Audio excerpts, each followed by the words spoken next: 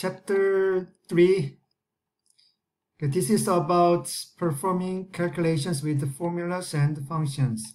So what we will learn about autofill options. And then for these autofill options, we need to understand uh, references, you know, relative cell reference, absolute cell reference, and mixed cell reference. So please read these contents before you do any exercise. And then we will also learn some functions related to statistics, you know, maximum, minimum, average, mid, mod, like that. And then some time functions. Okay, and then some uh, a VLOOKUP table. So we will see use of vertical lookup functions as well. So let's try practice first. Okay, so make sure to uh, to read the content, the content first. So before you do this homework, so it will help. So whenever you do the homework, and if you have any questions, there are similar exercises in the in the content of each chapter. So make sure to read thoroughly each chapter before you do the homework. Alright, so first of all, I will copy 3-2 in the student data files folder in my into my working folder and then rename it as claims claims okay and then from this Okay, B4, uh, B3, okay, write your name in B, the cell B3, and then B4, we will write the date. But in this case, we will use a formula. So go to the formulas tab. There are a bunch of formulas related to uh, some categories here. So we will select date and time arrow, and then today. So select this today function and the always function must have uh, starting with equal sign and function name and then parentheses. If there's nothing in the parentheses, then you can just leave it. But uh, if there's an argument inside parentheses required, then you have to write some arguments. But in this case, you don't need to write anything in the uh, inside the parentheses. Okay, and then click OK. So the date is automatically included in this cell. Okay, B uh, number three, B4. Okay, number four. Okay, claims are labeled sequentially according to the pattern. Okay, look at this. Go to the, claim center log.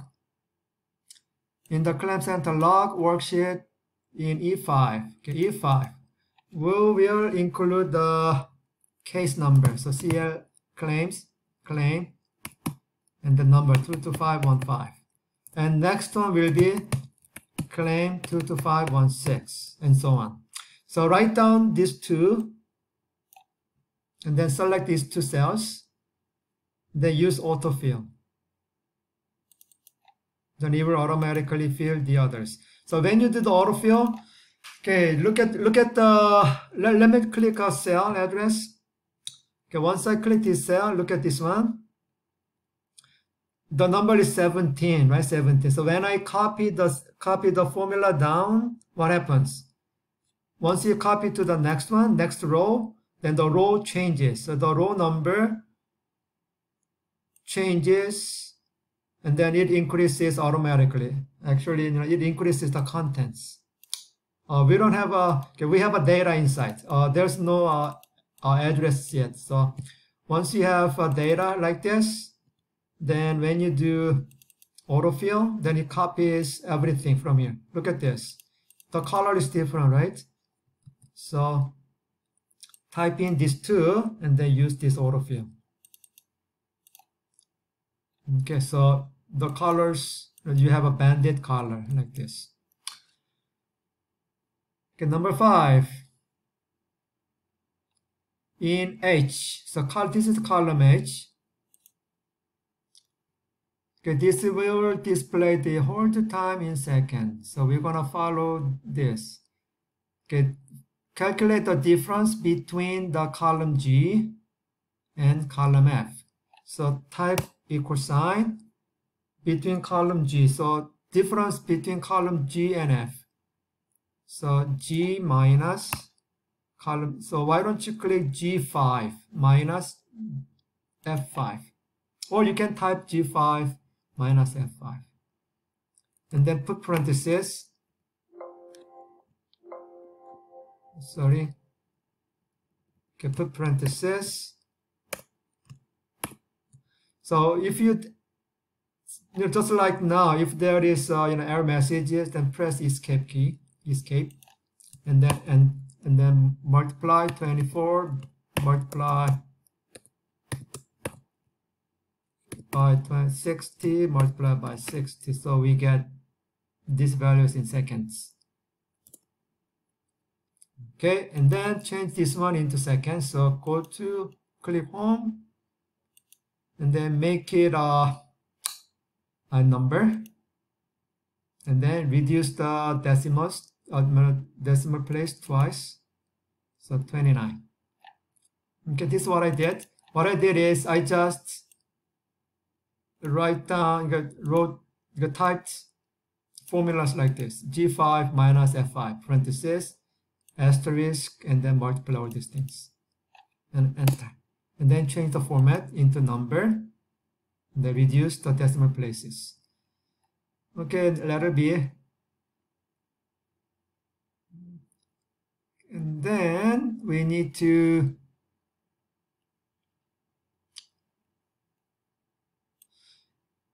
we need to fill the other rows as well so why don't you uh, okay what happens if, if you use autofill you know, it automatically copies this one down, you know, the, the background too, right? So Control Z. So why don't I right click this one and then bring it one more time? And then fill without formatting. So this one copied down, copied this formula down. But it didn't copy the actual format, the, you know, the color format like this. And then try again. So select these two then right click on the autofill, this lower right corner, right click. Uh, okay, you don't have to do right click in this case. In this case, just double click this autofill. Okay, okay again. Okay, from this, right click and drag it. Right click and drag it. Okay, fill without formatting first. So we got these two and then select these two and then auto format. That's I mean uh, the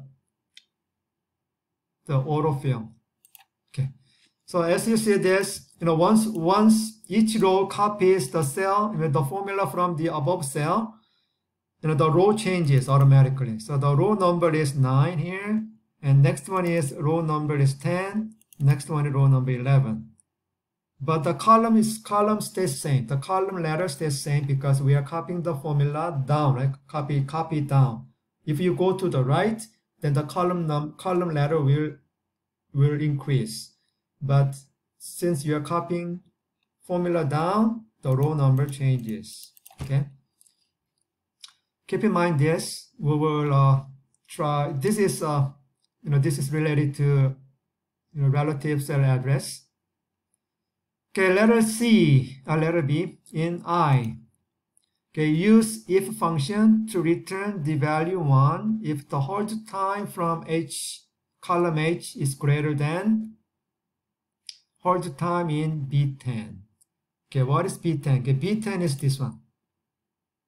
Oh, B10, oh, sorry, B10 is 20, right? B10 is 20. So, if this number any of this number, each of this number is greater than 20, then we will return 1, right, return 1.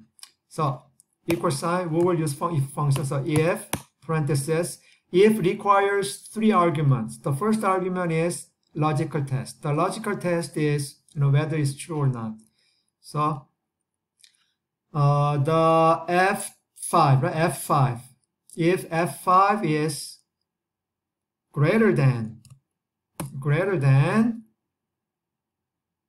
b10 right? B10 so in this case okay, after b10 enter function key f4 okay, f4 look at this. As you press the f f key f4 key there is a dollar sign attached to each you know each column and then each column and and the row number right? If you press F4 again then the dollar sign toggles right? Toggles. All right so make it dollar b dollar 10 okay dollar b dollar 10 means this is this you know this cell is anchored. This cell you know when you copy the when you copy this formula down actually the row number changes right? So H5, from this H5, A5 will be 6, 7, and 9. The row number increases, and 10 also increased. 10 should become 11, 12, 13, and so on, as you copy the, uh, the, the formula down. But since you put the dollar sign, that means anchor. That means this 10 and B will remain unchanged. So when you copy this cell, if there is a dollar sign in front of it, that cell does not change. Even you copy to different uh, different cell, that cell never changes. Okay. All right. And escape. Uh, uh.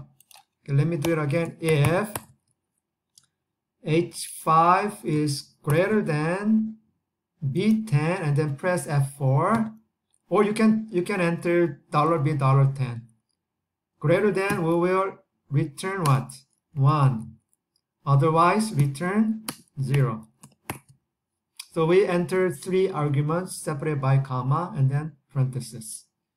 So whenever this hold, hold time is greater than 20 seconds it and you know it displays 1 otherwise 0 so we will do the same thing. Right click uh, bring it one more down. So we will fill this without formatting first, and then double click this autofill. So let's check. Uh, this number is less than 20, right? Less than 20, so it displays 0, and others are greater than 20, displays 1, less than 20, so 0, and so on. Okay, so look at this uh, when you copy copy the formula down, look at this, you know, dollar $B, dollar 10 stays the same, right? But 6, the row number is increased. H6 is increased. This one, it became H7, but dollar $B, dollar 10 stays the same. Next one becomes H8, dollar $B, dollar 10. H9, dollar $B, dollar 10, right? So if you don't wanna change the row or column, you have to put the dollar sign. We call this absolute cell address, the absolute cell address. Okay, doc. So, you know, okay, one more time. Uh, if you, so whenever, if, if there, if, let's say, what if we have dollar $B without this dollar 10, dollar. So dollar $B, dollar 10. That means since 10 does not have dollar sign, when you copy this cell down in, in the same column, then this number, this row number will increase 11, 12, 13, and so on. Okay, so I'm gonna put, I will remain it. I will put the dollar sign. Okay, letter L, uh, I'm sorry, column L.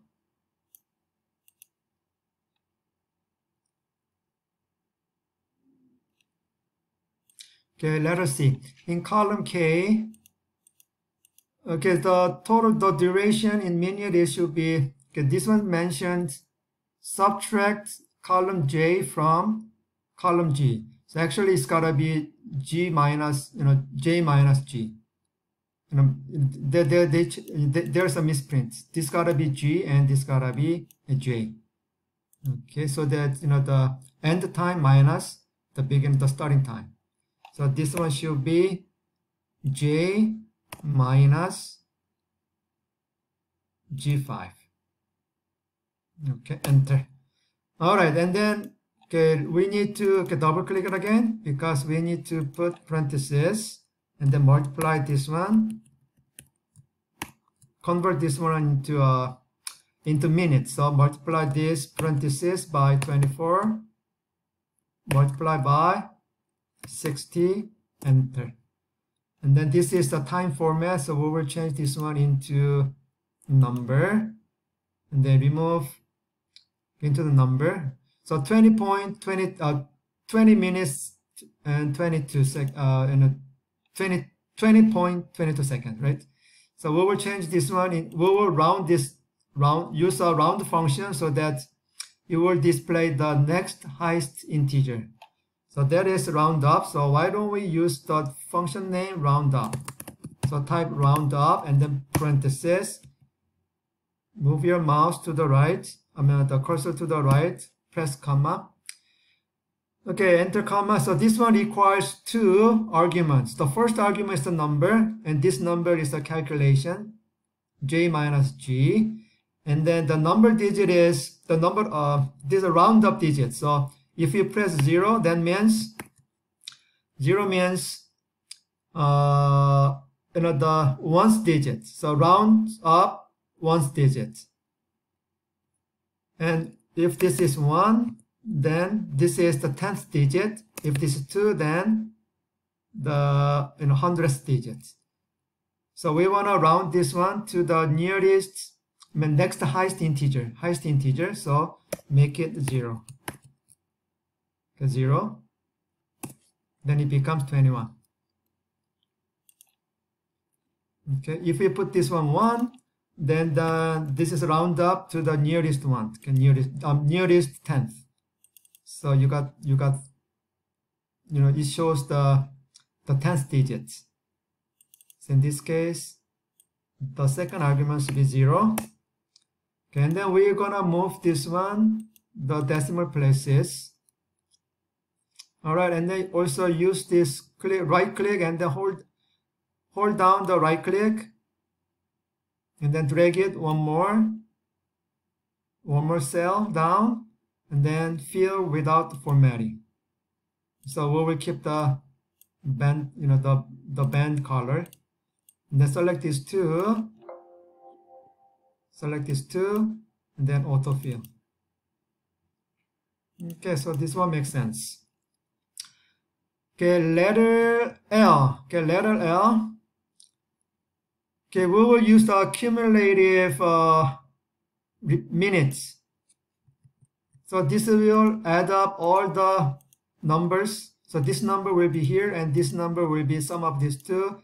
And this cell will be sum of these three. This cell will be sum of everything from left you know left until up to the same row.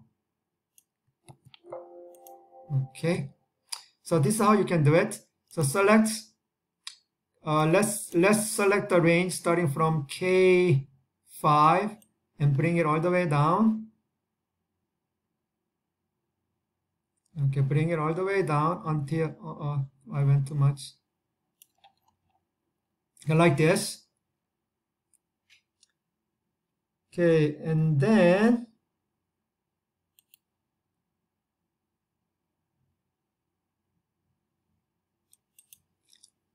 right click the lower right corner, right click. And actually no right click, so move your mouse on the lower right corner, then you will see this little icon. Then click this. So you have a pop-up menu. So from this, select the totals tab and then go all the way to the right click the right arrow look at this running okay, running can you see the little icon so this will make a total of everything and then write it on the right side. Right you know the the column on the right of the selected column. So select this. So this one gives all the uh, this is sum of everything from the left. Okay so if you click this, let's let me move this one up. So if you click this, then this will be the sum of everything from the left column all the way up to the same row. Right? So I double click this, then this sum of everything from the left. Okay. And then we need to uh, remove the bolt. So select this range from L5 to L1000, what was it? Okay, select this row, this range, and then remove the bold.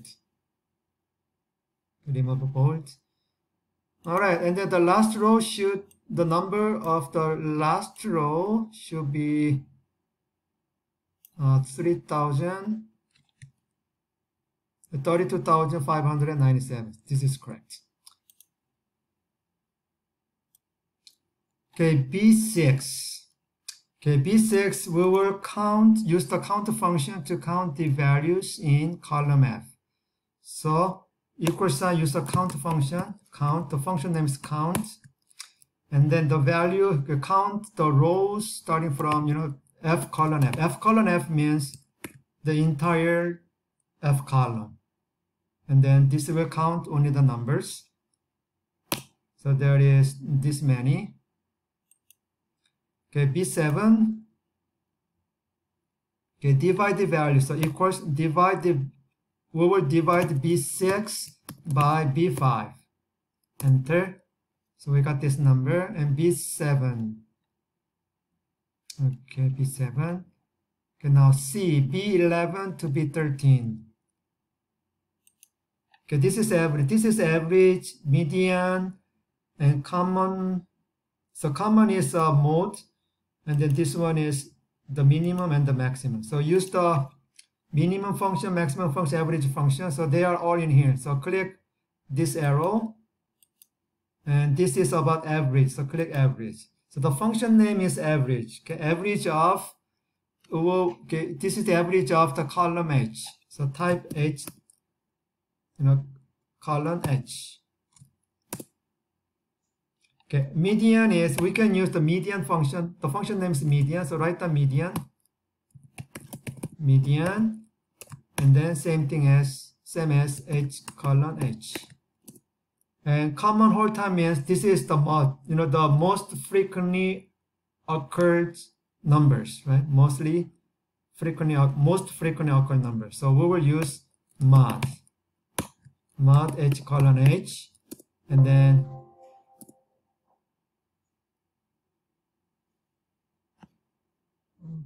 uh, uh, in this case, uh, we better use mod dot single sngl. Okay. Okay, uh, in this case, I misspelled the function name. It's got a MODE, right? MODE and then single this one. Okay. All right, and next one is uh, shortest, that means minimum. So use the min function, h colon h. And then this is the longest whole time is the largest, the greatest, so maximum, h colon h. So all these functions are in here. Sum, okay, average, uh, minimum, maximum, minimum, maximum, and the mod, you need to type mod, or you can use the function, more functions, or you can use the formulas. Formulas, and then they are in uh, one of these three. Okay, they're in one of these three. Okay, let's try next one. B14.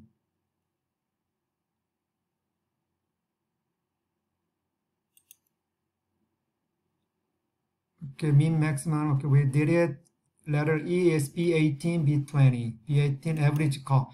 These are the average calls related to the column K. So we will repeat the same thing. Okay, so the average is equals A-V-E-R-A-G-E, and then the column is K. So K column K. And the median is use the mode of median, median of the column, all the data in column K enter and the common call is the most frequently occurred number. so that is mod use mod uh, single select this single. From the column k right k so k column k. And then shortest minimum of k column k. And the long is same thing. That's the maximum value in column k. Okay Okay, F, B21 and B22. Uh, that's what we did. And G is cell 25. Okay, this is the sum to calculate the total amount of agent time on the phone in column K.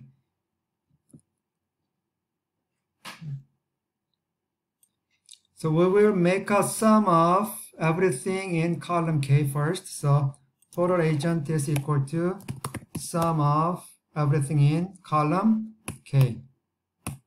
All right. And then we want to divide this into 60, uh, divided by 60 to express the total as hours. So divided by 60. All right. And then use the round function to the nearest total. Uh, round the value to the nearest whole number, whole hour. So it's going to be the we will use the round. This time use the round. So type round function right after the equal sign.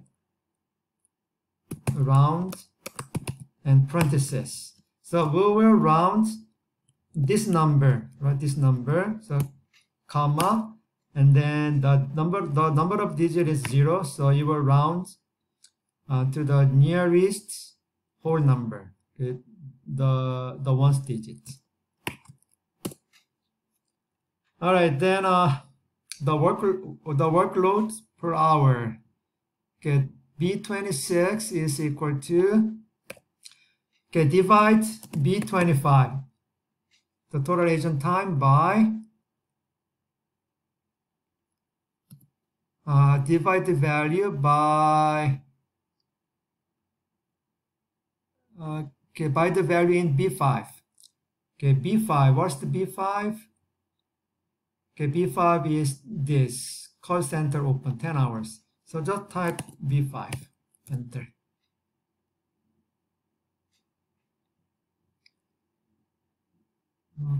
Okay, and then use the round function. So this value will be rounded to the nearest tenth. Okay, nearest tenth. So we will just use the round function. Round and then nearest tenth the digit is 1 okay one's digit i mean the you know, tenth digit. Okay enter. Okay b27 determine the hold time. Okay you uh, time no, no failure failure rate by using the sum function. Okay so this will be equal to sum of what everything in the column I. So I, column I. Okay, and then divide this number by the total number of okay and then divide the sum by the total number of calls over in b6 so divide by b6 okay what is b6 this number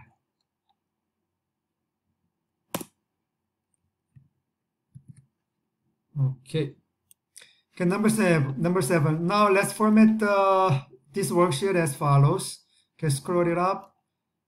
Okay, cell B5 and B10. So click B5, click B5, and then hold down the control key and then click B10. So we selected two cells and then apply the cell style. Cell style is input, input cell style. So click cell styles and then input. Select this input. Okay, now apply the calculation cell styles to the non-adjacent ranges. So those ranges are B6 to B7. So click B6, B7. So we, we select these two and then hold down the control key. Okay, hold down the control key. Select starting from B 11 to B15. Still hold down the control key and then drag the range B18 to B22. Okay, so we selected multiple non-adjacent range, ranges. So the cell, cell style is what? Uh, okay, the cell style is, let me, okay, calculation, calculation. So calculation is this one. Right? Click this. Okay, so you know the format changes, the style changes. Okay, the last one is B25 to B27. B25, B27. Now apply output. So click the cell styles and then select output. This one. All right. And number eight. Okay, in the staffing calculation, calc look at this. Okay, let me scroll, let me uh, zoom out. So this is how it looks like, how our data looks like. All right, and then staffing calculator. Okay, use the goal seek to determine how many agents will be on. Okay, for this one, uh, B23. Okay, B23 is this, and B26 is this.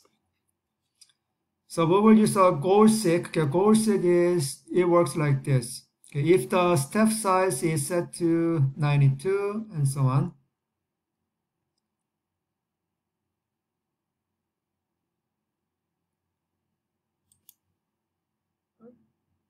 okay b uh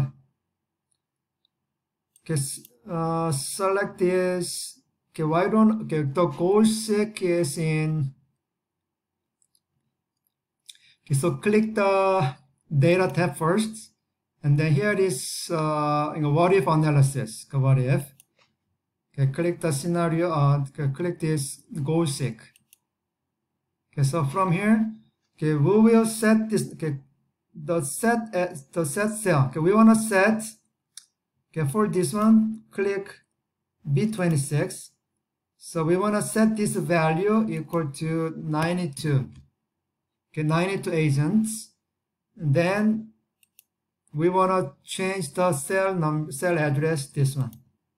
So based, if so what if the cell address of this B26 is 92? Then what should be this value? So this is our a goal to find out.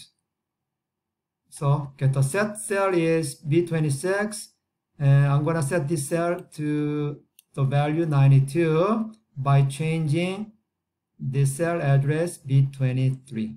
Can then click OK. So this will calculate automatically and give us an estimate uh, goal for this number. All right. So this one is automatically gives you know this formula okay that is a seek uh, goal seek so let's try number nine.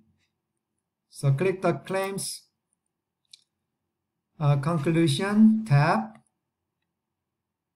Okay enter the following values as integer. Cell b5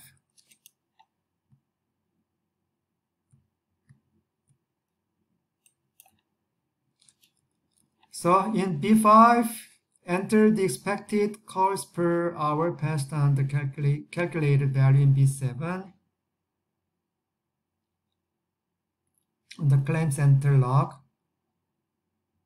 So claim center log, claim center log is this one. And then the B7. Okay, B7 is this one, right? So we can try this. So click the uh, click the this uh, the claims conclusion. Click this B B5 and hit enter, enter, and then you know equal sign. There's an equal sign here. Equal sign.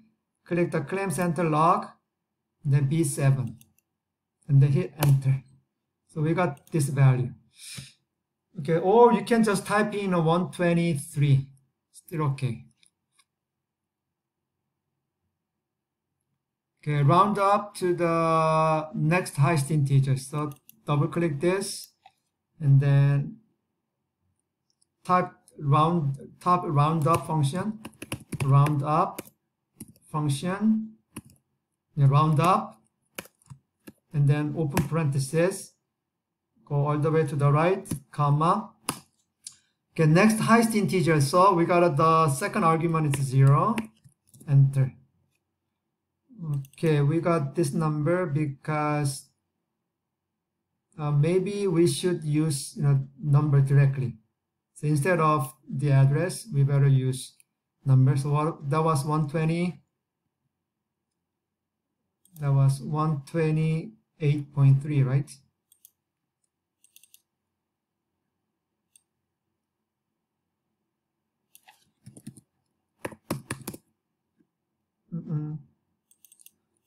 Okay, roundup.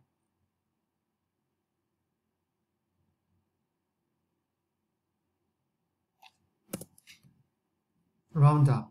Round. Hmm. Okay, misspelled, right? Okay, letter B. Okay, B6 will be B6 will be the value in B23 on the staffing calculator worksheet. B23 so staffing calculator worksheet. B23 is 60, right? So type 60 type 60 okay and then b7 is enter 20 as the hold time goal in seconds so enter 20 and then b8 enter enter the value in the cell b18 b18 in the claims center log b18 so what is b18 25 41 and then next highest integer. So round up to the next highest integer. So it should be 26 so anything you know this tenth digit has a number a number other than zero. So it's got to be 26 so type 26 here.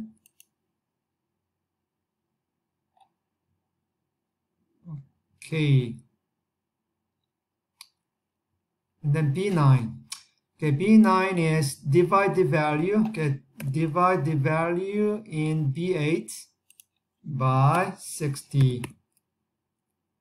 Enter. Okay, B12, uh, calculate the work hours by multiplying. Multiply the values in B5. So this is equal to B5 multiply by, an asterisk, B9. Okay, bit 13 is equal to divide B12 by B6. Divide it. Okay, just follow the instruction. This one is simple. Okay, number 11 is in B16. Okay, use the VLOOKUP. Uh, now we have a vertical lookup. The V means vertical. And then H means horizontal. So VLOOKUP is a vertical lookup. So, you know, the, the lookup table is, you know, we will look up vertically, vertically. All right, so in B, cell B6, cell B6. Okay, in the cell B16, use the VLOOKUP. So that is equal to VLOOKUP parenthesis. Okay, this is a VLOOKUP, you know, VLOOKUP is a vertical lookup function. So lookup value will be B6. We're going to look up the value in B6. B6 is 60, right? So you can type 60 or B6, still okay. So we will look up this value 60 from table array. Table array means from a table. And the table will be E5 to H32. So E5 is starting from this one. E5 is this one and all the way down, all the way down to the right. So that would be B, sorry, E5 all the way to H32. Okay, so if there is a match, so look at this. You know, the first column, okay, this is the table. This is the lookup table. And then we will vertically look up the first column look up number 60 in the first column. If there is a 60 exact match, like a 60, then it will return the value in the second column or third column or fourth column or so on.